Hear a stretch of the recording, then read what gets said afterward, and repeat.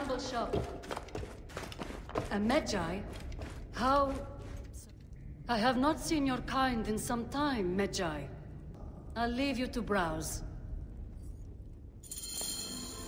Excuse me, but I have some business to attend to. I'll be back soon.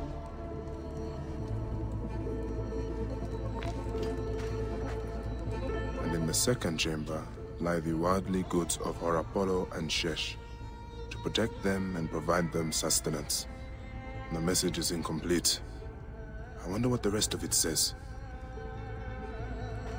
Seeking magical runes? Statuettes for common value? Nothing of value in this room. Why would the merchant sell such cheap goods here? Ah, she is hiding something.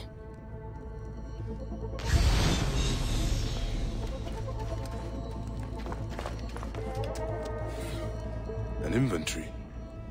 A talisman in blue faience is listed here. I should keep looking around.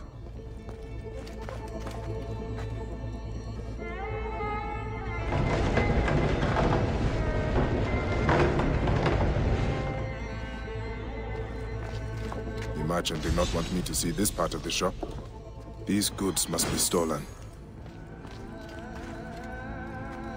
A fertility talisman. Taimhotep will be pleased.